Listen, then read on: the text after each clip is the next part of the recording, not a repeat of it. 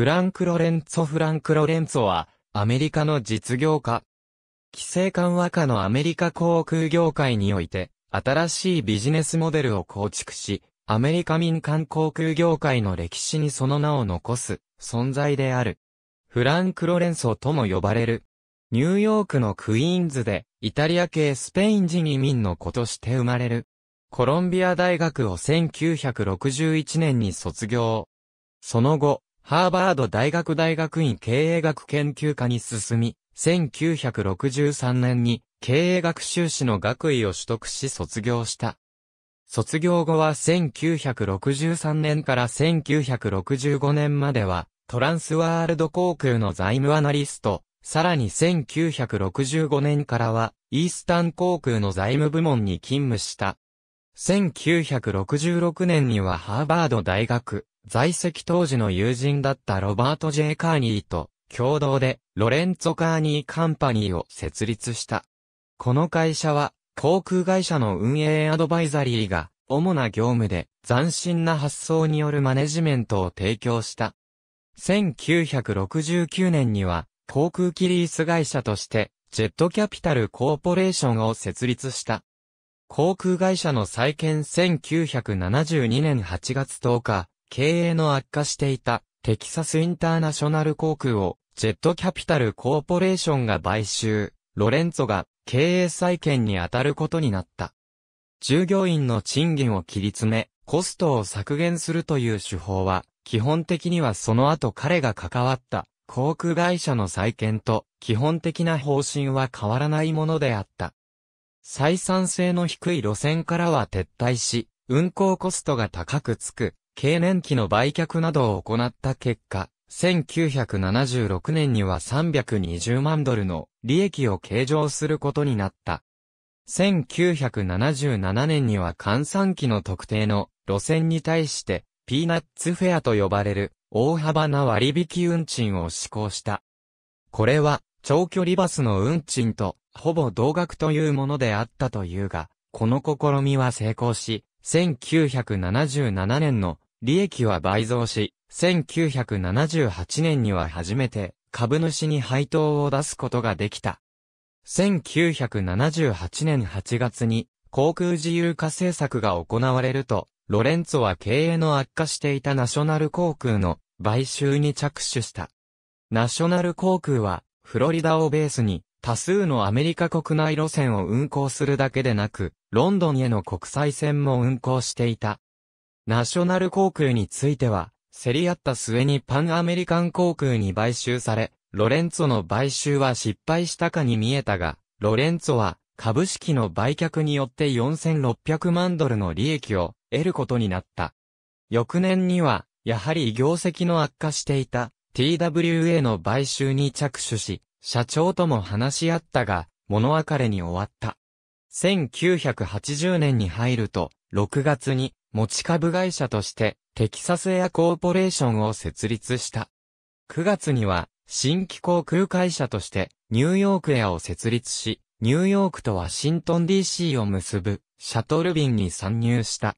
当時、この区間にはイースタン航空がシャトル便を運航しており、これに対抗するべく運航を開始したものであった。手荒な再建策1981年、ロレンツォは業績の悪化していたコンチネンタル航空の買収に着手した。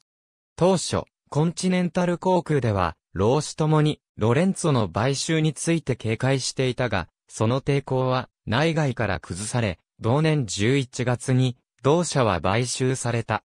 翌1982年にテキサスインターナショナル航空と合併、さらに1983年には連邦倒産法第11章を適用することで、一旦、コンチネンタル航空を破産させて、従業員を全員解雇し、大幅な賃金カットによる雇用条件を受け入れた、従業員だけを再雇用した。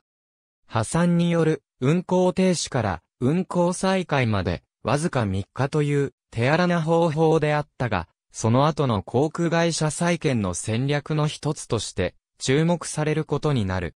しかし、この強引な方法は、社員の反発を買った。ロレンツォに買収された後のコンチネンタル航空社員の間では、拳銃に2発の弾があり、目の前に、サダム・フセインとカダフィ大佐とロレンツォの3人がいたら、誰を生かすか決まってる。2発ともロレンツォに打ち込むというジョークが交わされていたという。1985年には再び TWA の買収に着手するが、コンチネンタル航空の事例を重く見た労働組合の激しい抵抗のため、TWA の買収は失敗に終わった。また、同時期には、フロンティア航空の買収にも着手するが、フロンティア航空側ではロレンツォに買収されることに対してだけは抵抗し、同社はピープルエキスプレスへ買収されることになった。1986年2月には低運賃航空会社として再建するべく、イースタン航空を買収。この買収は、イースタン航空の経営陣による決定で、コンチネンタル航空の再生の手腕に期待したという。この時期に、ニューヨークエアの運航していたシャトル便はパンナムに売却された。同年6月には経営の悪化したピープルエキスプレスを買収したが、参加にあったフロンティア航空も同時に買収されたため、結局フロンティア航空の買収に対する抵抗は意味がなくなってしまったことになる。1987年2月1日には、ピープルエキスプレスとニューヨークエアをコンチネンタル航空に合併させた。しかし、イースタン航空の再建は、社長や労働組合との対立となり、なかなか進まなかった。労働組合との対立が激化すると、ロレンツォは、身の危険を感じ、自社機に乗った際に、運ばれてきた清涼飲料水の線が開いていた場合は、絶対に口にしなかったという。1989年3月9日には、イースタン航空は、チャプター11適用となった。ロレンツォは、イースタン航空の路線、機材、施設などを売却したが、1989年の赤字額は8億ドルにも及び、ロレンツォでも手の施しようがなくなっている状態であった。1990年8月、ロレンツォは、テキサスエアコーポレーションから、コンチネンタルエアラインホールディングとなった持ち株会社の売却を発表、航空業界の第一線からは身を引くことになった。